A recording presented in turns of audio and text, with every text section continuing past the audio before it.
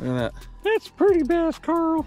And Mike, for your viewers, Guys, I am a saw another YouTuber. His name is Pine Outdoors, and he makes a phenomenal baits. And I ordered this one to see what it would do. And if you want to come over my channel and see what what's happening with it, it is doing phenomenal. Uh, once again, to Tyler Hoffman over at Pine Outdoors, great job.